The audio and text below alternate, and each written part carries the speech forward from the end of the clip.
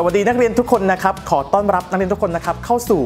เรียนรู้ภาษาไทยสไตล์ครูชวันกร ในวันนี้ครูจะมาแนะนำนะครับ ในการอ่านการเขียนและกระบวนการคิดต่างๆ แต่ก่อนอื่นต้องบอกก่อนว่า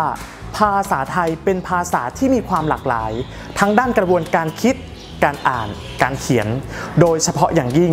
กระบวนการอ่าน เพราะ 1คำสามารถอ่านได้ 2-3 รูปแบบ ในวันนี้ครูจะมายกตัวอย่างคำที่สามารถอ่านได้ 2 รูปแบบครับคำที่ 1คำว่ากรณี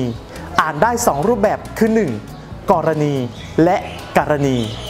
คำที่ 2คำว่าคุณค่า อ่านได้ 2 รูปแบบคือ คุณค่าและคุณค่าคำที่ 3คำว่า คมนาคม อ่านได้คือ คมนาคม และคมนาคมคำที่ 4 คำว่า บรรพชา อ่านได้2รูปแบบคือ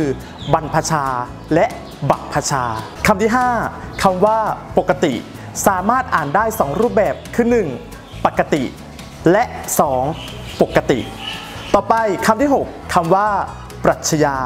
คำนี้สามารถอ่านได้ 2 รูปแบบคือ 1. ปรัชญา และ 2. ปรัชญา ต่อไป